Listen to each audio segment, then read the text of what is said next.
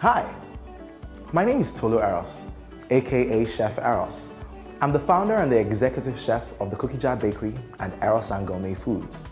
I love to cook out of the box, and the most important thing to me when I'm cooking are the quality of my ingredients, the presentation of my food, and of course, the taste. My dripping chocolate cakes are very, very eye-catching, but my cookies made me famous. On this episode of Chefrican, I'm going to be making a jollof rice risotto. I'm using risotto rice for a creamy texture. I'm serving this with seared pepper prawns, a salad puree, and a very, very, very delicious sweet chili mousse. Sit back, relax, and let me take you on this culinary ride. One last thing we want to add, onions, rough chop, and into the stock all of this goes.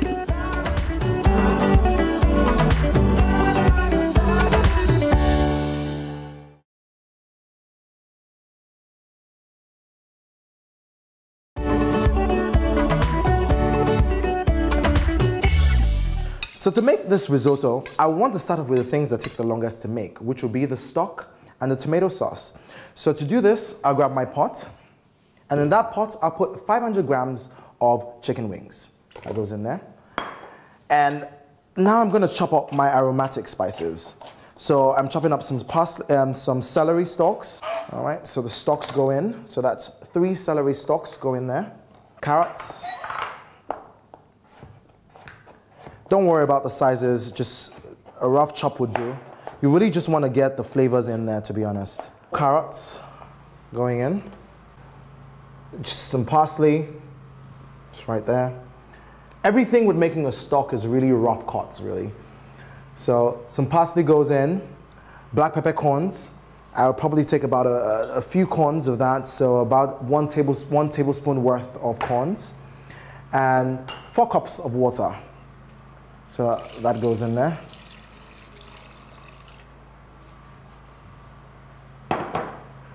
Two more aromatic spices that are very important. Ginger and garlic. Using the side of your knife, squash down, okay? And that should let the garlic come off nice and simple. Now because it's a stock, I can just chuck that right in. With the ginger, I want to use a teaspoon. And the teaspoon really just allows this, the skin peel off easily.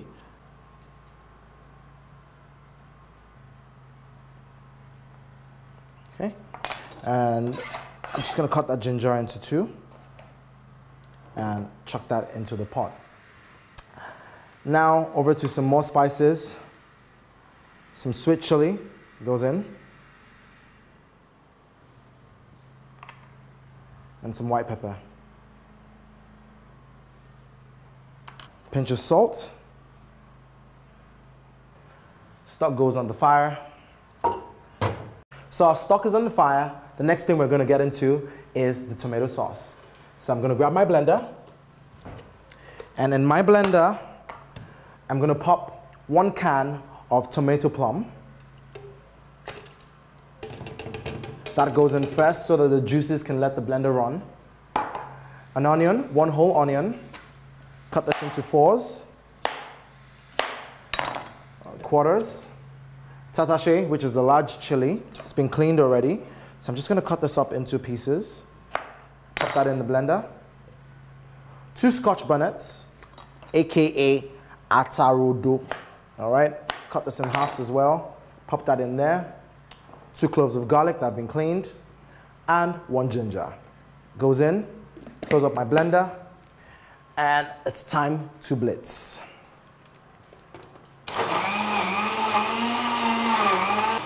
And that's about it. Nice and blended. I'm gonna grab my pot. And in the pot, I'm gonna pour in all of that tomato sauce. That goes in there.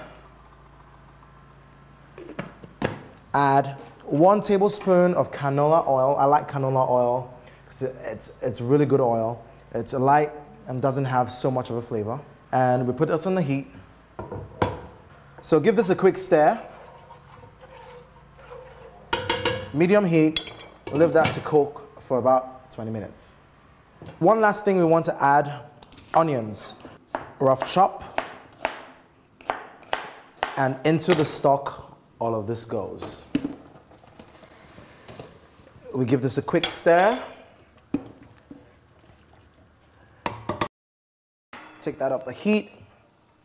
And now it's time to start frying the tomatoes. All right, my pan, I'm going to have half a tablespoon of oil. Let's make that one tablespoon of oil. I'm using canola oil again.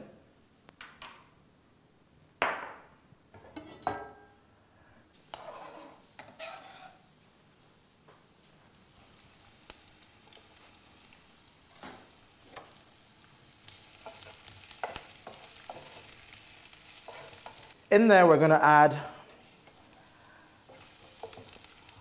our tomato.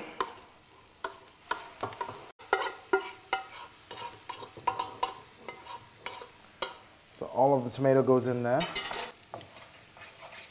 So right now it's pretty thick, uh, but I'm going to water that down with some of the stock, and that would make all of the liquid we need for the risotto.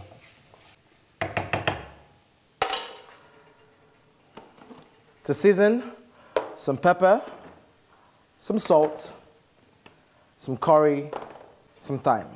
So I'll start with the salt. Pinch of salt, a half a teaspoon of dry pepper,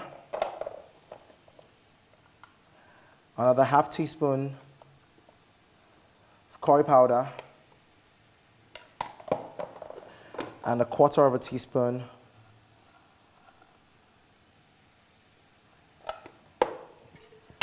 Stir that down.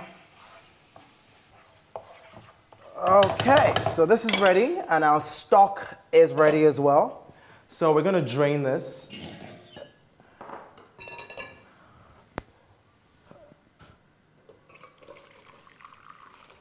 And there we have it. Oh, yum yum. Get any excess liquid out. Okay, and there we have our stock. So this goes over here. And that's our stock ready. One cup of stock in here. All right.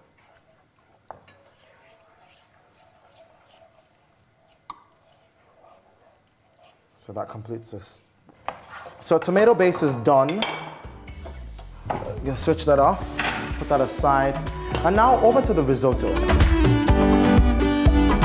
Now the broth itself is made out of um, a butter and oil base with some onions caramelized, adding in some chicken stock or vegetable stock or fish stock depending on the type of rice itself that you're trying to cook.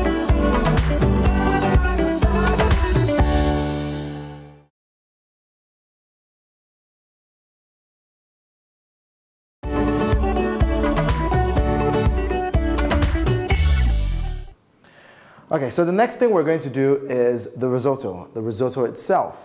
Um, to do that, I need a pot, I need some butter, I need some oil, and I need some onions. Now, risotto itself is an Italian rice that's made out of uh, short grain rice that absorbed quite a bit of moisture and uh, leaves you with a really creamy texture. Um, the rice itself kind of looks like an ofada rice. So if you can't find the risotto rice like I had a difficulty with today, you can always just uh, uh, substitute that for ofada rice. So now we start off with the risotto rice itself. Okay, in the pot, I'm gonna add two tablespoons of butter, of unsalted butter. And as that starts to melt down, we're going to add canola oil. The Italians would use the olive oil, but I'm using the canola oil. Now, two tablespoons of canola oil should do this. That goes in there. Whilst that's heating down, straight to the onions. Now, onion goes in. So let me tell you a little bit about risotto. Risotto itself is traditionally an Italian dish, an Italian rice dish made using the arborio rice most popularly, that's cooked to a creamy consistency in a broth. Now the broth itself is made out of um, a butter and oil base with some onions caramelized, adding in some chicken stock or vegetable stock or fish stock, depending on the type of rice itself that you're trying to cook. Um, if you can't find the short grain rice, which is the arborio rice, um, I find that you can actually substitute this for our traditional ofada rice. I myself found, found it difficult to actually get the rice, so feel free to try the ofada rice and let me know how that goes. Okay, so quick wash on the rice just to get some excess starch out. You don't want to take too much starch out of the risotto because that's all part of the process just any dirt or anything like that, okay? Uh, bowl and strain all the water out. And we set that aside. I'm gonna start working on my shrimps. So seasoning the shrimps. Shrimps, some fish seasoning. I'm just gonna take about a pinch, which is, I would say about two teaspoons of fish seasoning pinch of salt.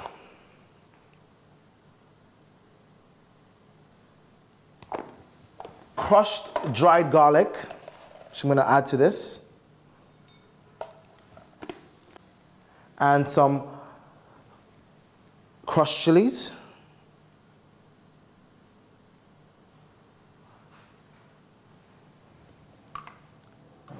White pepper.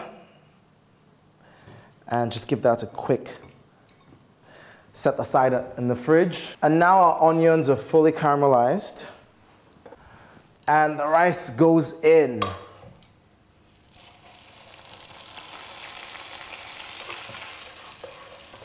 Set that down. I mean, if only you knew how it smelled in this kitchen right now.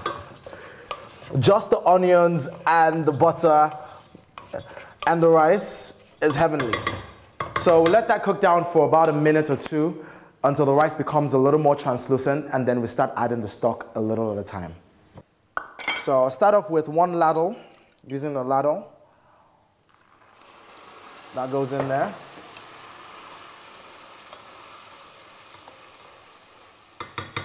Okay. And one ladle of the tomato sauce. That goes in. Stir that down. Make sure it's very well incorporated. And cover, reduce your heat to the lowest point on your gas stove.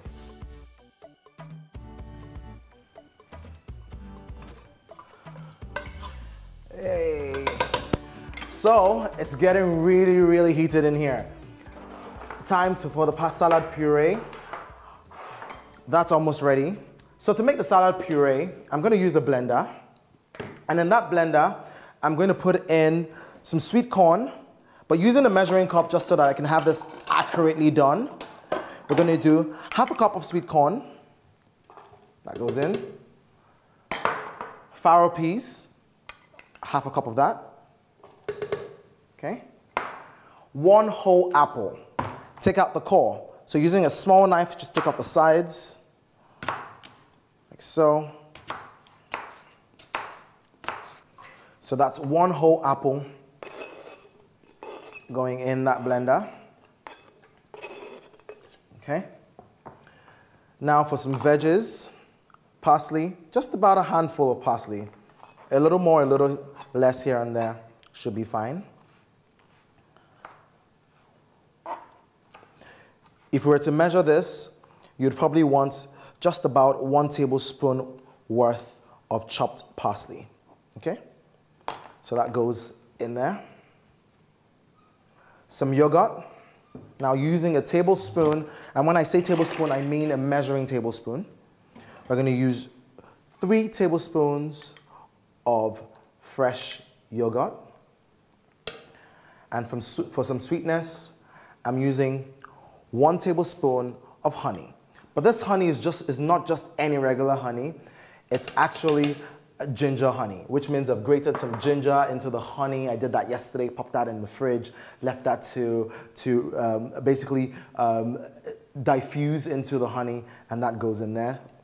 And now we're going to blend all of this together. And just gradually adding water, one tablespoon at a time.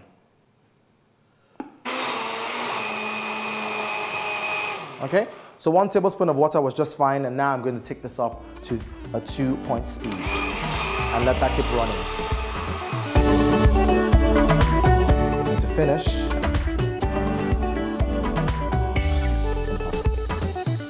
All right, and then we have it, my jollof rice risotto.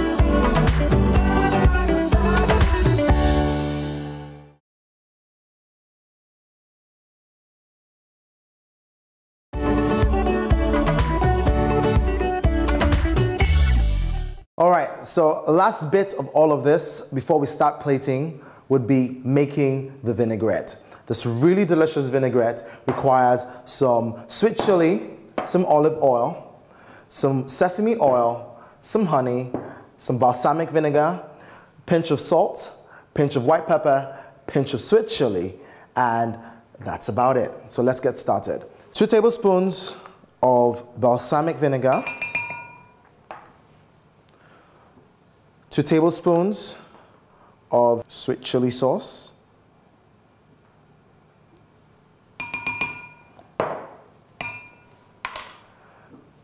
half a tablespoon of extra virgin olive oil,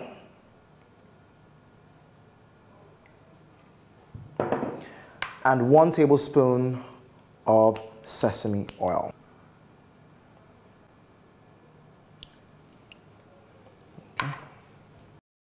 Pinch of white pepper, pinch of dried chilies, and pinch of salt.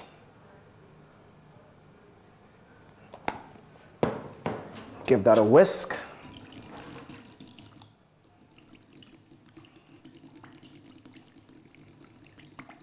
Finally, some honey, ginger honey, one tablespoon of honey. Again, good whisk.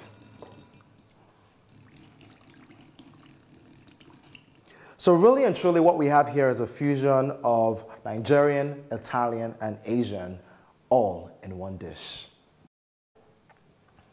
Check on our rice. So now, prawns. Now, the heat is on. Coconut oil, just a little there, just to coat the bottom of the pan, uh, about a teaspoon worth. So oil's hot. First, garlic goes in, about a teaspoon worth of garlic. And then some onions.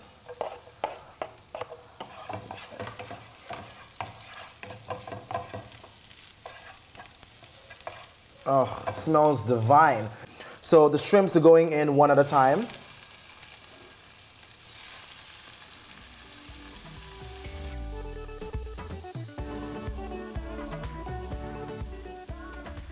While that's searing on the other side, we're checking on the rice, which is completely done. Okay, so prawns are done. Now down to the fun part, plating. To do this, I'm gonna use a white plate. I'm gonna start off with my salad puree. And with a brush, I'm gonna take a chunk of the salad puree and just drive that down across the sides of the plate. Just like that. Enough so that I can get a good bit of that in my meal itself, okay? Now the risotto. I'm using a bowl to make a mold so that you can get a nice mound and not a messy mound of rice. So that's the bowl and that's the rice in there. But it's very important that you actually mold this in well. Otherwise it's going to come out crumbling. All right? So you make sure you don't have any spaces in between. And then we're just going to top this over like that. and just let that release out. That should come out nice and easy. There we go. Okay? Then the shrimps, rather the prawns. goes right at the top here.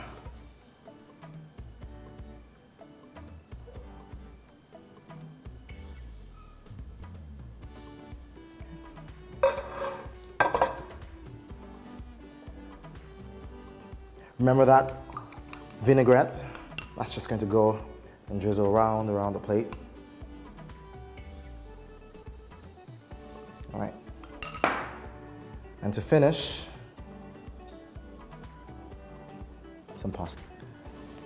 All right, and there we have it, my jollof rice risotto. Pretty easy to make. I mean, it, it smells amazing. I've paired this with the salad puree and the sweet chili vinaigrette, and I've put this on um, with some seared pepper prawn. But before we forget, we're gonna pair this with a glass of chilled white wine just because it's seafood. It looks amazing. I'm just gonna dig in. I'm actually just gonna dig in.